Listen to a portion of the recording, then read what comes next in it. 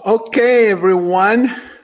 I am Gustavo Tolosa, and this is our live webinar for session two of the online book club. We are reading Own Your Health, written by Glen Merzer.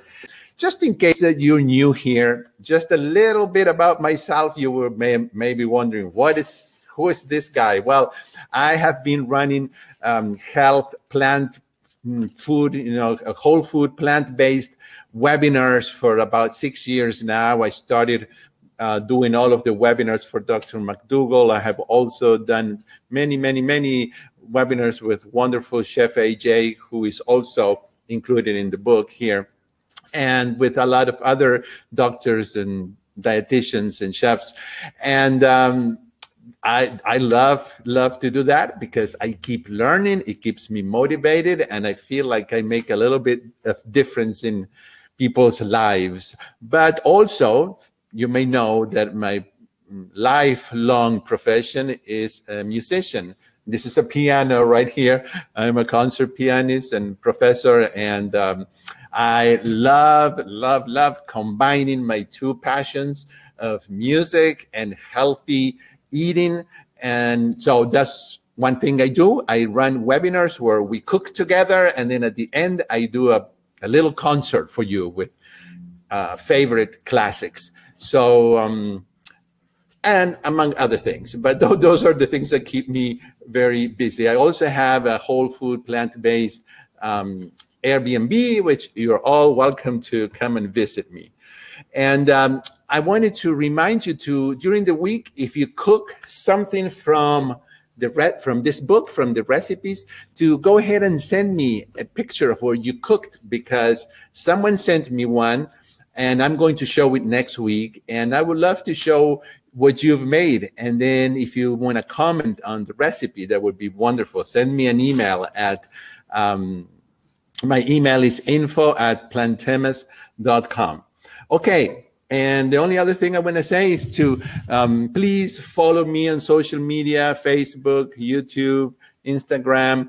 Uh, it just helps me to continue doing these free uh, webinars that I do. So, without further ado, we're going to get started and let's see if I can here bring Glen Merzer. Glen, can you see us, see me? Yes. Can you hear me? I can. I can hear you. Did my image just go out? There I am again. Hold on. So, everyone, this is, I have the pleasure of introducing to you uh, Glen Merzer, the author, together with Chef AJ of the book. And uh, today we're going to cover chapters two and three. And of course, a lot of those two chapters is um, stories that you told us about you, Glen. And I have to say um, that I just couldn't put down the, the book because uh, your stories are very interesting, uh, funny the way you write them. And uh, I don't have to tell you this, I'm sure you know it, but what a wonderful writer. You, you just make reading easy and fun, entertaining. So, um, I'm just going to, I'm just going to um, uh, let you tell us a little bit about chapter two. Here is my story. So why don't you tell us in your own words um, your story? Okay. Well, my story is that I uh, grew up in a family with a lot of heart disease. Um, uh, didn't know my grandparents. They were dead before I was born, except one died when I was a child um, and a young child. And uh, most of the relatives, especially on my father's side, all the men died in their 50s. Uh, so I grew up feeling that in this family I'll be middle aged at 25 if I don't do something different. So uh, I don't remember if I read anything or just heard about the vegetarian diet. And uh, I heard uh, a hero of mine, the comedian Dick Gregory, I heard him speak, and he was a vegetarian. And so I resolved to be a vegetarian uh, the first day at the end of uh, the first day of summer vacation at the end of my junior year in high school when I was 17. And uh, that morning I had an English muffin for breakfast, and the phone rang. It was my old buddy Dave.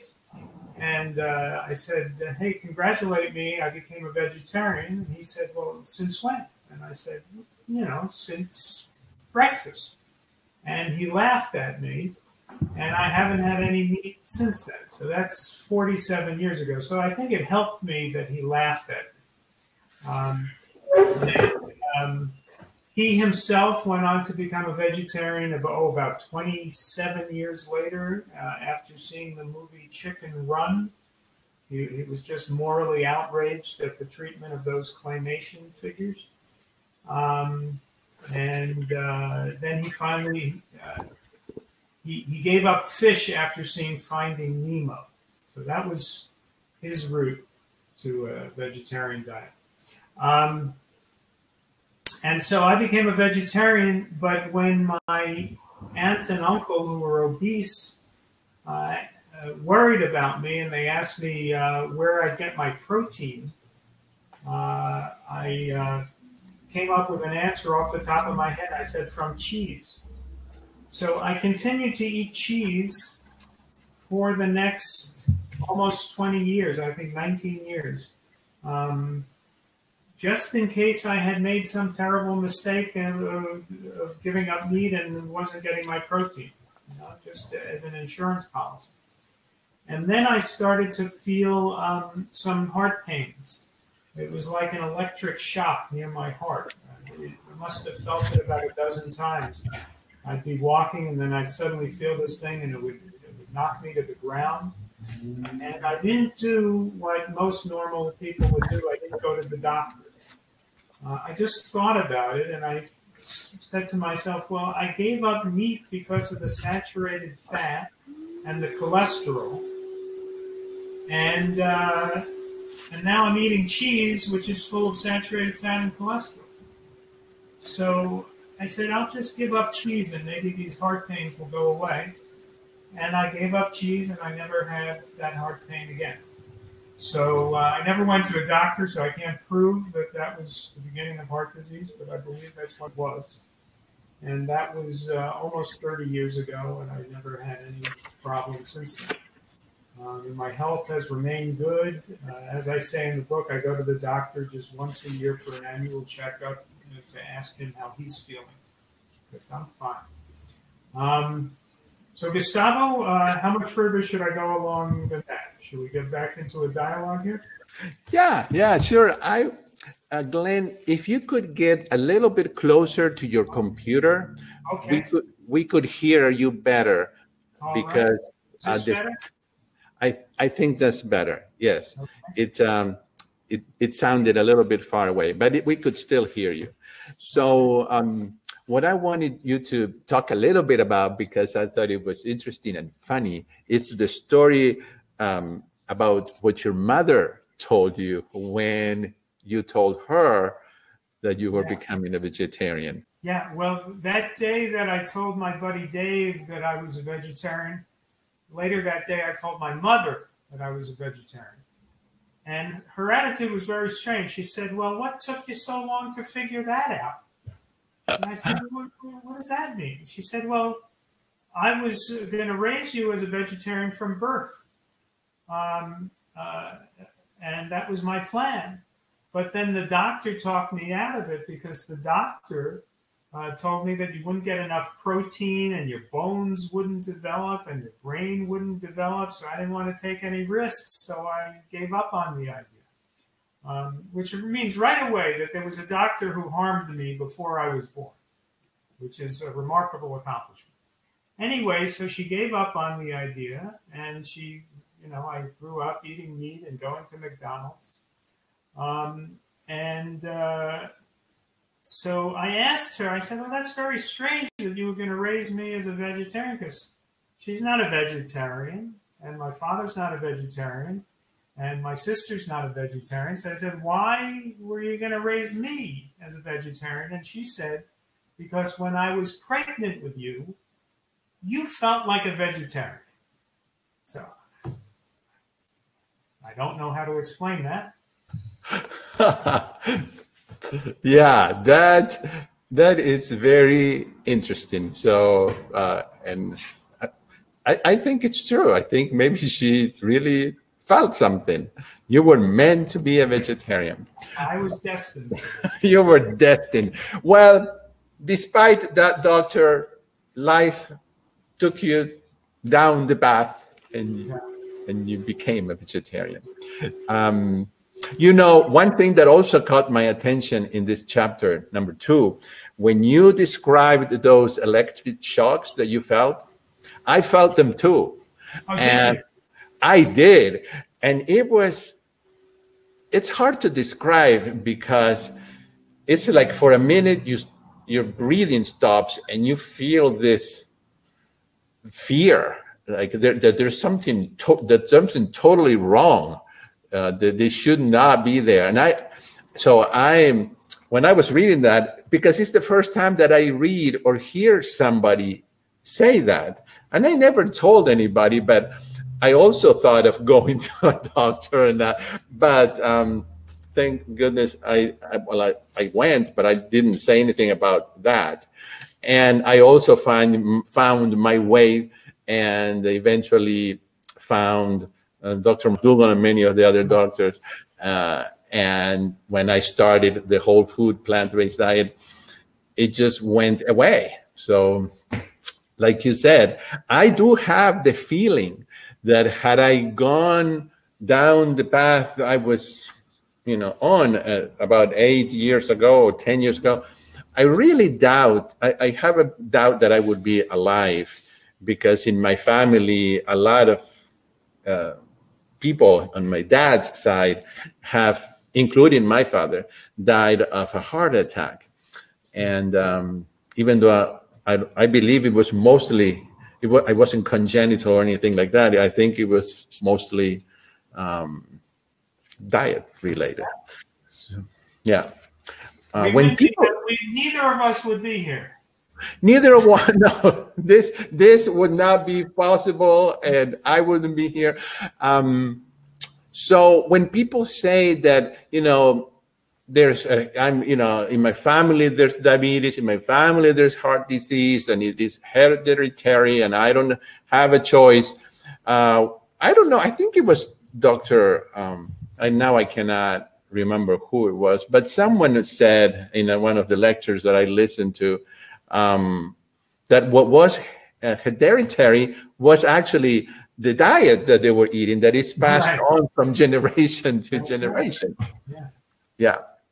So um, very interesting. Uh, Glen, this is something that also interests me. It didn't interest me that much at the beginning of my journey um, through this way of eating, but later on, as I found out what you talk about and here I'm saying the page number for people who have the book. On page 22, at the bottom, you say that uh, UN's report say that um, the animal agriculture um, business, you know, um, produces more uh, like green gases than all transportation combined. And then later on, you mentioned how it actually um, the World Watch um, report instead, you know, corrected that to even higher levels. Can you just say a few words about that?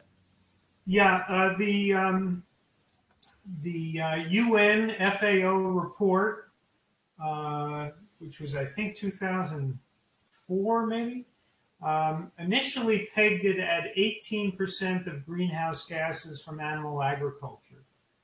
Um, excuse me. And um, then the World Watch did a study and they pegged it at 51%, more than half of greenhouse gases coming from animal agriculture.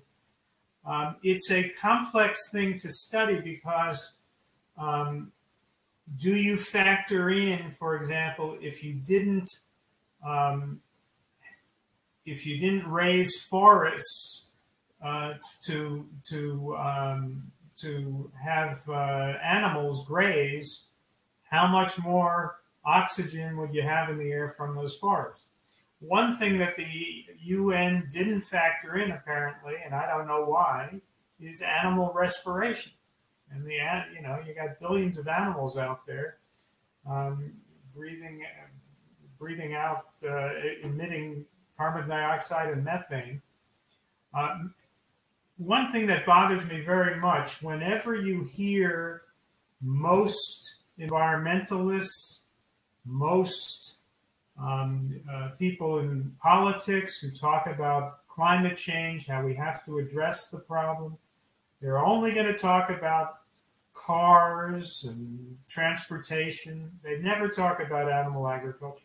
And they only talk about carbon dioxide, you know, which we get from the burning of fossil fuels. They don't like talking about methane, which is partly related to fossil fuels, but it's also largely related to animal agriculture.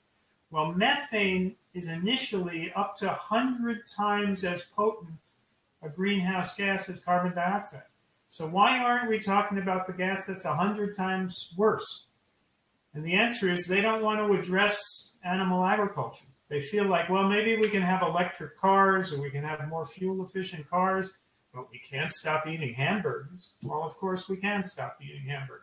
We have to stop eating hamburgers. And there's really no way, mathematically, scientifically, there's no way to reverse climate change without dramatically reducing animal agriculture. Just can't be done, even if everyone's driving an electric car. So um, it's the most important environmental issue, and it's the one that uh, politicians don't like to talk about. And if, you, ever seen the documentary Cowspiracy, it's even environmentalists don't want to talk about because they don't want to lose their base of support. Yes, yes, I saw Cowspiracy. I recommend it to everybody here to see. Is cow, you know, and uh, yeah, as conspiracy, but but Cowspiracy, and uh, yeah, it's incredible to see how these people react when when they're interviewed and they just stop talking and leave um, it's very disappointing um, because, like you say, Glen, and it's not to be negative, um, but there really isn't. Uh, other doctors that I've talked to and people in science, they really don't believe that we can reverse this problem that we are having with climate change unless we do something, we stop dramatically eating animals. I don't think that we will ever have an earth where there is not one human being eating an animal, but um, I just wonder how many people would eat animals if they had to do it the old way and go out and hunt for that pig or chicken or cow and then kill it and then cut it up and no, not many. um, so hopefully we will stay positive and this will change. But it is very difficult because of the amount of money that is involved and power. Um, Glen, you talked a little bit about protein, and uh, that is always a frustrating topic for me and for other plant-based people when when they have to attempt to make sense with other people that are not plant based and they uh, think that we cannot, that we don't have enough protein. And you mentioned here how just about everything that we eat, from an apple to a legume to a, even lettuce, I mean, any, everything has pounds of protein. And you, yeah. Basically, when you're eating whole foods, you don't have to worry about these things. Now, it's true that if you ate only fruit, you would have much less protein than if you eat a more uh, diet that includes legumes. You know, so I certainly recommend uh, at least one or two servings of legumes a day. Um, but it, it, you know, if you eat a normal, um, what you know, the other side talks about. A, they use the term balanced diet, and then when they say balanced, they're usually including meat well, I'll use the term balanced diet. Balance it with some legumes, some fruits, some vegetables, some whole grains, and that's the right balance, those foods. Um, and um, if, if, if you don't have a weight problem, a little bit of nuts and seeds are fine, not too much. Um, and um, you don't have to worry about it. You don't have to think about protein. I think that every doctor, every single one that I have talked to, has uh, told me that they have never seen a case of protein deficiency other than in some places of the world where people actually don't have enough food to eat. Because if you eat enough calories, you are getting enough protein. And I think you mentioned that here as well. Yeah. All right. So I'm just going to remind everybody here that you, you are you're free to type questions here in the chat box for Glen anything to do with the book or anything else, and I will read the questions to him or he can read them here. Uh, so feel free to ask questions. Um, let's move on to chapter three, Glen. And uh, this is another topic that um, is frustrating because of the wonderful job that the uh, industry has done, the, the, the processed food industry, the meat, in, the, the meat industry, of confusing the public about what a carb is. And I love your comment of how an apple is a carb and but also a piece of chocolate cake is a carb and we could all agree that the apple is mostly water and fiber and carbs, but it's a good carb. So would you mention a little bit about Jane Brody? Because that that is so interesting what you what you the way you write it. That's on page 24 and I mean 25 and 26, everybody who if you have the book there. Um, yes. Jane yeah. Brody has been the New York Times uh, science uh, personal health columnist for the last almost 40 years. Uh, and she wrote an article in 2017 called Unlocking the Secrets of the Microbiome. And in that article, she, she wrote uh, that a diet more heavily based on plants, that is, fruits and vegetables, may result in a microbiome containing a wider range of healthful organisms. That's true and that's good. And then she says, uh, people interested in having a health promoting array of gut microorganisms should consider shifting from a diet heavily based on meats, carbohydrates, and processed foods to one that emphasizes plants.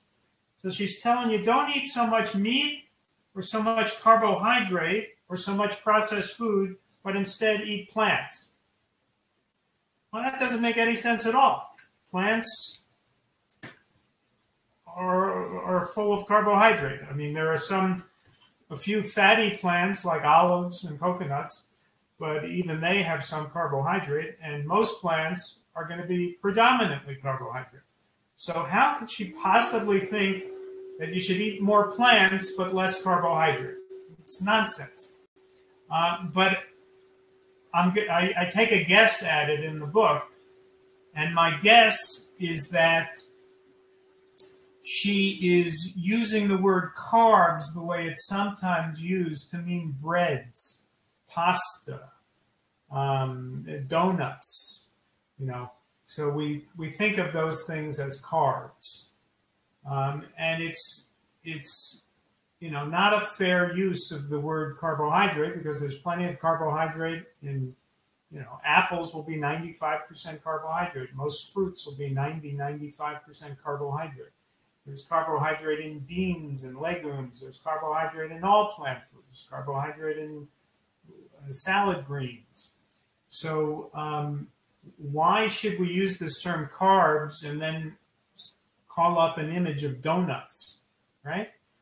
Um, so, what I think she was talking about is foods made from flour, bread, donuts, um, uh, you know, waffles, pancakes, um, and foods made from flour are going to be less healthy than whole foods. Some of them, like donuts, obviously are going to be very unhealthy because they're full of sugar.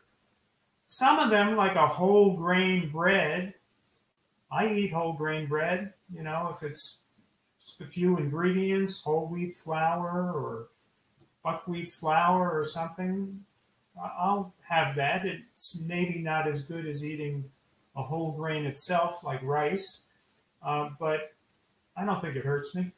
Um, so, um, I, and I know Chef AJ doesn't eat flour, doesn't have flour-based foods. Um, so certainly, if you're trying to lose weight, flour, you know, flours are are are, are grains that have been beaten and crushed, and so they're more calorie dense. Um, so if you're trying to lose weight, yeah, avoid bread. But if you don't have to lose weight, you can have a whole. Uh, you know, I have whole grain bread. I don't worry about. Um, but um, but I don't have donuts. I don't have you know donuts are made with sugar and oil. Waffles are made with oil, and I don't know they may have sugar in them too. And I don't need anything like that. So um, you know you have to watch it with food, and certainly foods that you get in the supermarket that have flour are often going to have bad ingredients. Um, so um, I have just a few flour-based foods like a, the occasional whole grain bread. And other than that, I avoid it. But that, I think, is what she meant by carbs. But it becomes very confusing if you're using the term carb to mean something other than carbohydrate. You know? Carbohydrate is, is the primary macronutrient that we need to fuel our cells. And the idea of trying to avoid it is like trying to avoid oxygen. It's insane. It's true. It's true. And um, here we have a few people saying that we should, and and I know that AJ does it, and and then I started making the difference between saying complex carbs and simple carbs. You know, even that sometimes people have no idea what that means so maybe another way i came up with is saying highly processed carbs because the word processed sometimes clicks more so you know um, a candy bar you know it's highly processed and it doesn't usually have much um, fiber and water and it's fat and sugar. And unprocessed would be an apple a potato but um, it is uh, it is a shame that this word has become a bad word. Because like you're saying our main fuel is carbohydrate and it really is and like dr mcdougall explains it really is like trying to stop breathing because it's like air for right. our body so here donna says where can I find research showing long term success for those who eat this way and manage to maintain the weight loss? Well, I think PCRM on their website probably has studies that show that. Uh, Michael Greger has a website called nutritionfacts.org. Um, uh, I'm guessing if you yeah search under weight loss on that. PCRM is very good. If for those of if you don't know what that means, anybody here is Physicians Committee for Responsible Medicine, and that's correct. And then nutritionfacts.org is another place, and um, you can find. I'm sure you can find there. I do have to say something that I that I say. Um, sometimes at the beginning of a book club, and and I think I mentioned it last week. Um, that is that not everybody is at the same place when when they when they're watching something like this or reading a book. And what I'm saying about that is that when I started, when I changed the way of eating, I was almost 80 pounds, eight zero. 80 pounds overweight. Well, I was obese. So and I would, and I had gone to the 10 day living program that Dr. McDougall used to do in person. Now they're doing online.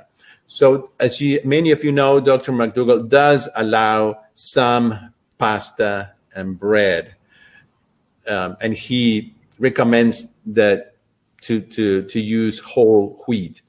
So, at the very beginning, when I had so much weight to lose, just cutting all of the meat uh, products and all of the dairy but still eating pasta and bread, not in huge quantities, but once or twice a week and whole wheat, allowed me to lose 40 pounds.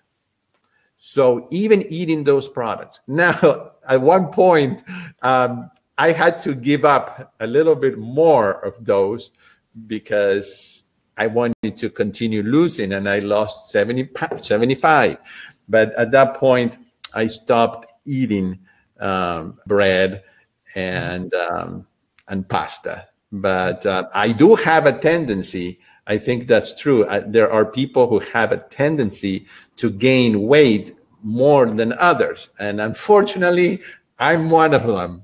And uh, what can I say? But um, Glen, I just wanted to clarify that because um, sometimes when a new person wants to start eating this way, if you wipe out everything all of a sudden, uh, and you say you can't eat meat, you can't eat dairy, you can't eat, you know, oil, you can't eat bread, you can't eat pasta, and so the person really gets scared, like, what am I going to eat? So I think that's the brilliant part of Dr. McDougall's program that allows them to eat and to get in this way of eating, and then gradually you you yourself start to figure out what's going on. Yeah. Um, I wanted to say that. I don't know if you agree. You don't have to, obviously. No, I, I do agree. I have one slight disagreement with Dr. McDougall, which is that he is more lenient about sugar than I am. He will sometimes say, go ahead, put a little sugar on your oatmeal if that helps get you to eat your oatmeal. To which I would say, eat your damn oatmeal without the sugar. Put some fruit on it. Why in the world? It's breakfast. It isn't dessert. Why in the world would you put sugar on oatmeal? Right. Because you start putting sugar on oatmeal, then you're going to put sugar in your tea. You're going to have to drink the sweetened plant milk. You're going to. Why do you want to feed that addiction to sugar? Um, so that would be, you know, we all revere Dr. McDougall for being a pioneer, and he's God knows he's saved more lives than I have.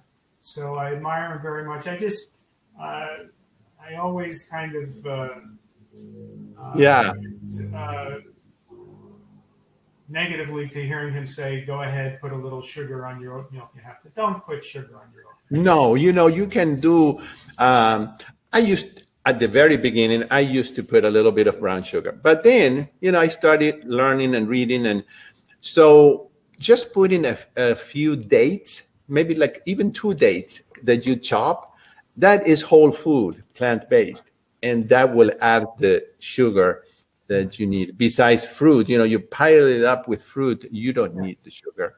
Yeah. So um, here, Jerry says, what would you put on a slice of whole grain bread? Do you eat? You know, I'm asking now. Do you eat it by yourself? Do you put tomatoes? Do you put Do you put anything on on the whole wheat bread? Um, you know, I'll sometimes have a sandwich. I'll make a sandwich with um, tempeh. And the philosophy I have now, and, and this is a little bit related to the, the book Fiber Fueled by Dr. Will, how does he pronounce his last name? Bul, Bulsiewicz or something? Uh, the book called uh, Fiber Fueled. Um, his mantra is diversity of plants diversity of plants. The more oh, plants, yeah, yeah, that's right. different plants, the better. Mm-hmm. Um, so um, let's say I'm making a sandwich with tempeh. All right, you could put a little mustard on the bread. That comes from a plant. Nothing wrong with that. You could have mixed salad greens. You could have tomato. You can have onion. You know, so uh, you can have cucumber. So just pile on the plants And the bread may not be doing you any good, but I don't think it's, unless you're trying to lose weight, I don't think it's doing you any harm if it's whole grain bread. Or if you, you know, you shouldn't, you shouldn't have it if you're gluten sensitive. Um, and, uh, but all those plants are doing you good. And the tempeh is doing you good. And it's all low fat. So um, that might be one thing I have on bread. If I'm just going to have bread with a with a spread, I sometimes will have a spread that is olive pate, but it's made without added olive oil, so it's just the crushed olives. Maybe it has capers in it too. I don't know. But the, I know that that's not the healthiest thing in the world. But what I do is I just put it on very lightly, you know, a half a teaspoon. Mm-hmm. And so you train your taste buds so that just a little bit, let's say a little bit of sesame tahini or a little bit of olive pate, just so you taste it, but you don't put it on thick. You don't put on fatty foods thick. And that way you can have fatty foods, but you just have a little bit. So that's my method, and I've never had a weight problem. Right, right. And we, again, we all have to learn. I mean, one of the things about this way of eating is that you learn so much about yourself. So just you, you learn what, um, for some people, you know, nuts and seeds is addictive. They cannot stop eating them. For me, for example, you can put a whole can there and it just doesn't call me but you put bread there, and that's why I don't have bread at home because they, if you put bread there, I want to eat it all. So uh, just knowing yourself as you go down the road of, of whole food, plant based. And we have someone asking here, um, Glen, does Glen have hope that whole food, plant based will be a more permanent permanent way of eating, or just another diet do you Oh well, it, it's it's it's the natural human diet, so it's uh, it's not a fad. If, if, that's what the question is about, I don't have any fear that it's a diet fad. Um, my only concern, it's like we're in a race. You know, we have over seven billion people in the world, and we have this terrible problem of the world heating up and climate change, and we have to make this change as soon as possible, and we have to make it yesterday, and we have to do it internationally. And we have to do it despite the fact that the scientists and the politicians are not emphasizing this. Uh, even the ones who understand the urgency of climate change are, are failing to address the leading cause of climate change. They're, they're only talking about fossil fuels. Um, so, uh, you know, LED light bulbs, which are terrific, but you still, while you're lighting your room with LED light bulbs, you need to be eating plants because otherwise the LED light bulbs won't make a damn bit of difference. So um, we're in this race to, to have a sustainable diet and uh, and to have a healthier country. Do we really want to have a country full of lagoons of cow and pig manure? You know, just think about the people who live near the lagoons of pig manure. It's not a nice thing to do to this country. So, um, you know, we we need a sustainable diet, and and um, it, you know, sometimes you come across people who think, well, yes, if I eat beef, but only organically raised um, beef from, uh, you know, I try to avoid eating beef from confined animal feeding operations and that kind of thing. Uh, only free range chickens. Well, do the math. We've got 330 million Americans. If they're going to be eating animals three times a day, everyone's going to have to have three cows in their backyard and two pigs and 50 chickens. It's impossible. The only way we can feed people the animal based diet is with these horrendous confined animal feeding operations. The only way it works. And they're terrible for the environment. They're terrible for water. They're terrible for the air.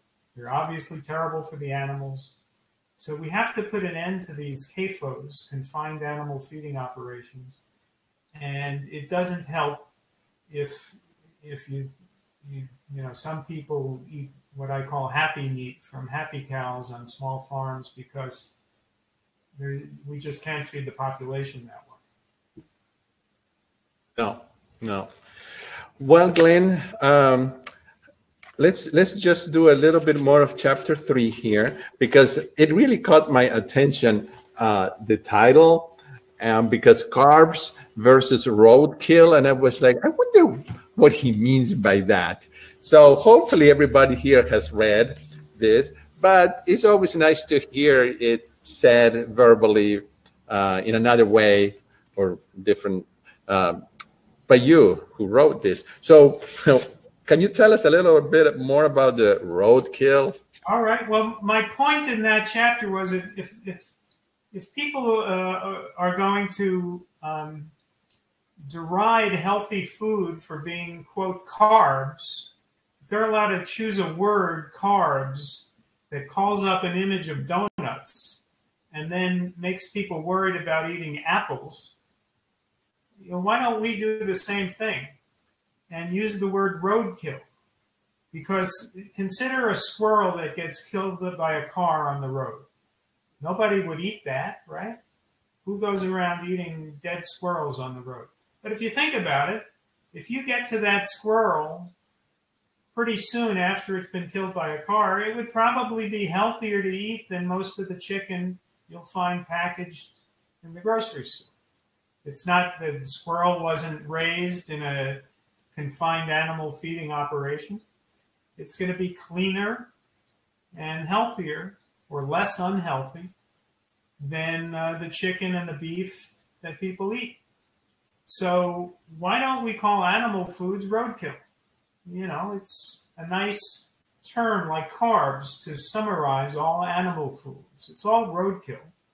Um, and um, it's all equally unhealthy.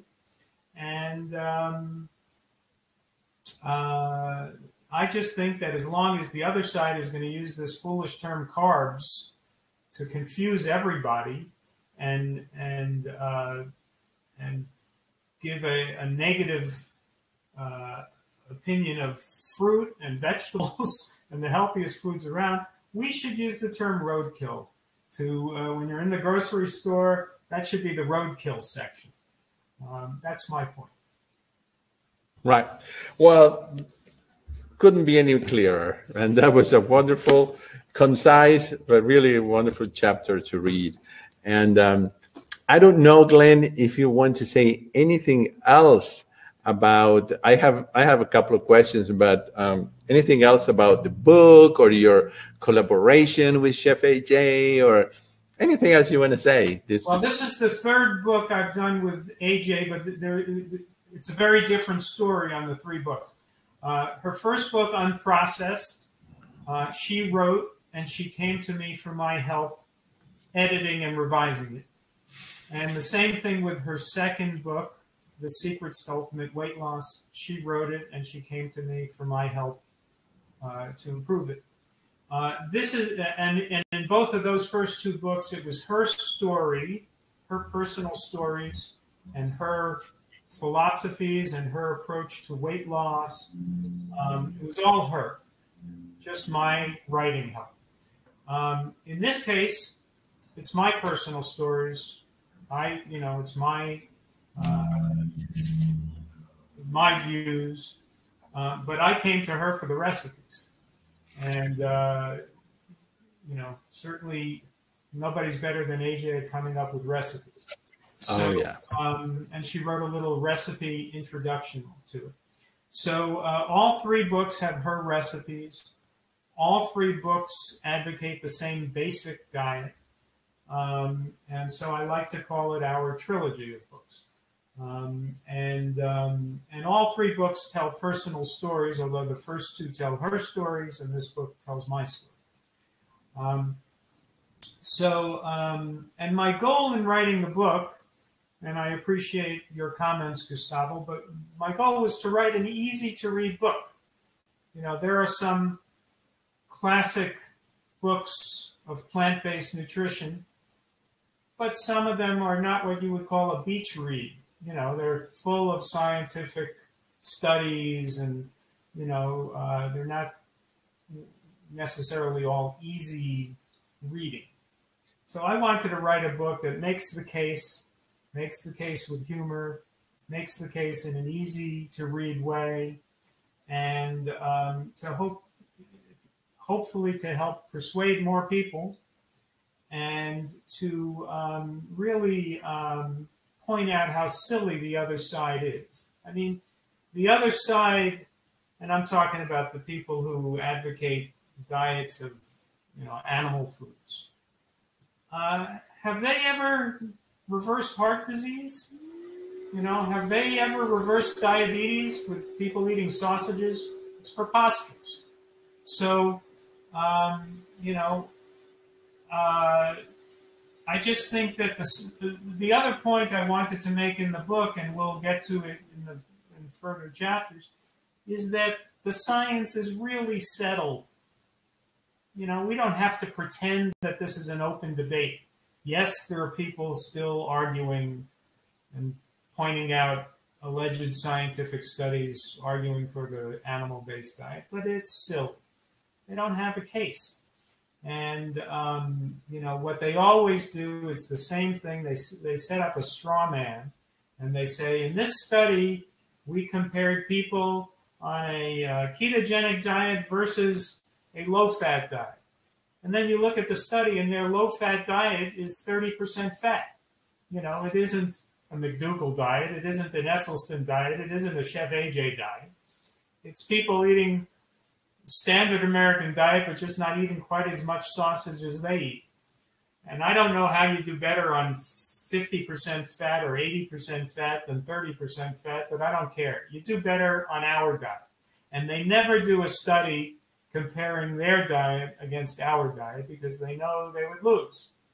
So they always set up this straw man of people eating a you know a diet, a low fat diet, people eating a lot of donuts, you know, and uh, that's not a low fat diet. Glen, I have to ask you this question because every time I have a guest, everybody wants me to ask this question. So the question is, what do you eat in a regular day okay. and or uh, what are some of your favorite things to eat or recipes okay a regular day i often begin with oatmeal or buckwheat or uh, you know some grain but these days especially since reading uh, dr b's book uh, fiber fuel I try to add as many plants to it. So why not have your oatmeal on a bed of greens and then topped with, with berries and then some cinnamon or other spices. So just think about the, um, the goal of having as many plants a day as you can, particularly low fat plants, which are most plants. Um, so I might have oatmeal or buckwheat for breakfast I might have a salad uh, at lunchtime. I might have uh, potatoes. I might have, uh, like I said, a tempeh sandwich. Uh, and then I'm blessed in the evening. My wife is a wonderful chef, really. Not a professional chef in that she never worked in a restaurant, but she's better than the professional chefs. And she makes wonderful meals. Uh, it might be uh, oh, uh, a mixture of uh, lentils and potatoes and rice, or uh, you know, all kinds of vegetables. Um, uh, you know, a, a curry. A, uh, sometimes we have pasta. Um, sometimes she makes spring rolls, and we have a, a more of a raw dinner. Um, so we uh, we always have great meals in the evening, and I usually make for myself simple enough meals for breakfast and lunch. Um, and uh, for snacks, I'll have fruit during the day. I might have uh, you know, an apple and two bananas during the day, or uh, an orange, um, and uh, might snack on a cucumber or celery or something like that. So just, I think it's healthy to have the goal of how many plants can I eat today, and uh, anytime you're hungry, eat a plant. Yeah. Okay. Great. Great answer. Thank you. I find it very useful, at least to me, um, to make my own hummus so that I know that there is no oil, zero, and um, I put some spices in it, and I can dip those vegetables that you're saying for snacks, or put them in in the bread to make this sandwich that is 80% you know plants and instead of mayonnaise using that but um, good good. So glen um, someday when i write my book are you going to be my editor sure, I just said that because someone says here, when are the two of you writing a book together? Okay, I don't know. So, um, I can't help you with the music, though. I uh, right. That's gonna be. Now I have this book. Yes. Can you just say a few words about this? That that book, off the reservation, um, is the story of a congressman from Bloomington, Indiana, where I now live, who uh, runs for president. Uh, and um, and it comes out in the course of the campaign that he and his family are vegans. Um, and in the course of the novel, um, he sits down at various times for meals with his family, with his campaign manager. And every meal that he sits down to, my wife has the recipe at the back of the book. So it's a novel with recipes. Uh, so there are 20 healthy recipes in the book, and they, they follow along with the story. Uh, and so it's a comic novel about a vegan congressman who runs for president. And um, it would be lovely if, if that guy actually existed and became, became president. Yeah, that would be. Well, you know, I've been traveling and, and doing, uh, but I haven't read it yet, but I will read it. And this is one of the bonuses that you are giving people yeah.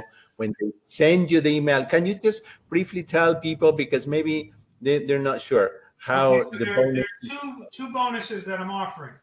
First, I've already, the first one I've already sent to many of your listeners and viewers, um, which is, uh, when you buy the book, either Kindle or audiobook or paperback, you just uh, send me an email with your proof of purchase to gmerzer at aol.com. And I send you a, uh, a carrot cake recipe from Chef AJ, a healthy carrot cake recipe, um, a vid- video, a private video of AJ making the carrot cake recipe, and 25 healthy recipes from my wife, Joanna. So that's just for buying the book, my show of appreciation. Um, the second is if you send me an email that tells me um, which chapter you like best and why, then maybe Gustavo and I will choose our favorite answer and I'll send you a copy. We'll choose a winner and I'll send you a copy of the novel. Okay. Okay. Great, great. So Donna asked, "What foods provide the most satiety?" For me, you know, it's potatoes and sweet potato. But I don't know what what you think. Oh, I think potatoes and sweet potatoes. Okay, uh, well, we agree on that. I love love the Hannah sweet potatoes because they taste like like a cake to me. It's it, uh-huh. they taste like vanilla and they're creamy, and I can't. That that's my my go to snack. Um, yeah. I love purple sweet potatoes. No, those are delicious as yeah. well. Yes, yes. Well, Glen, this has been a wonderful hour together, and uh, I know that we will in in a, one of the other sessions we're going to have you and your wife together. Yeah And next week, um, we're not going to say the name yet, but we have a celebrity doctor here um, as a guest. So I hope everybody's going to join. And um, that's next, uh, the next session.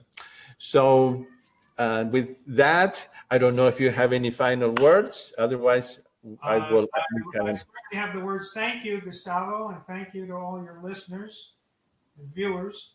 And um, uh, oh, one more thing, one more thing. Uh, the, the website of the book is ownyourhealthbook.com. Ownyourhealthbook.com. And if you go there, you can sign up for a new uh, health newsletter that I'm going to be putting out. So a free health newsletter at ownyourhealthbook.com. Maybe I can put that in the chat. Yeah, own your health. Let's see. Uh, we will put also your email address because uh, someone was Okay. asking about that. All right. So and ownyourhealthbook.com. And